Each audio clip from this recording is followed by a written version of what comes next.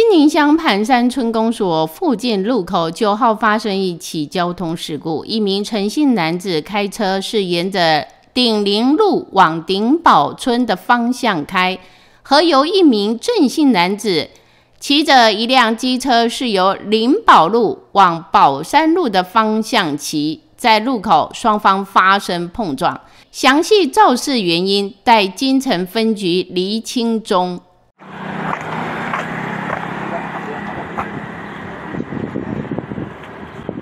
金陵乡盘山村公所旁的路口，在今日上午八点三十分左右发生一起交通事故。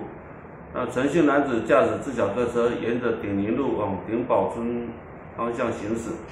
与郑姓驾驶沿着林宝路往宝山路的方向行驶的普通重型机车，在路口发生碰撞，双方车头接受损坏，